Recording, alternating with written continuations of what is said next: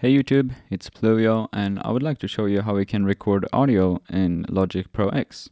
So I have an empty project here with an instrument uh, track, but the first thing I'm going to do is make sure that uh, Logic knows what we want to use to record and play our audio with.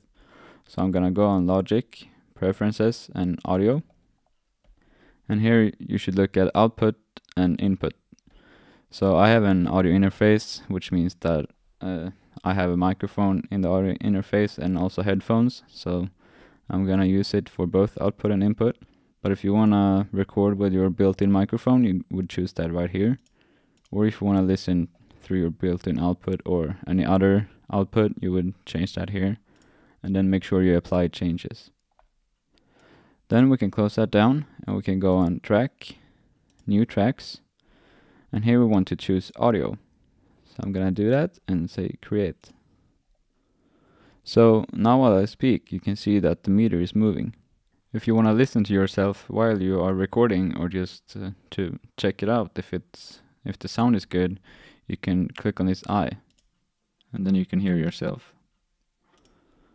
So let's uh, go ahead and record something. You can choose up here where it says 1, 2, 3, 4 if you want it to count in or if you want to have a metronome clicking while you're recording, then you just gotta click on it.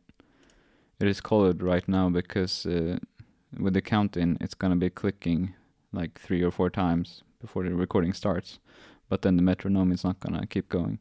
So uh, I'm just gonna unenable the count in and start recording by clicking on R or the record button. This is a test and now the test is over. So there's my audio. Now we can listen to it. This is a test and now the test is over. So that's all you gotta do to do some easy audio recording. If you have any questions about this, please leave a comment, like and subscribe, and I will see you later.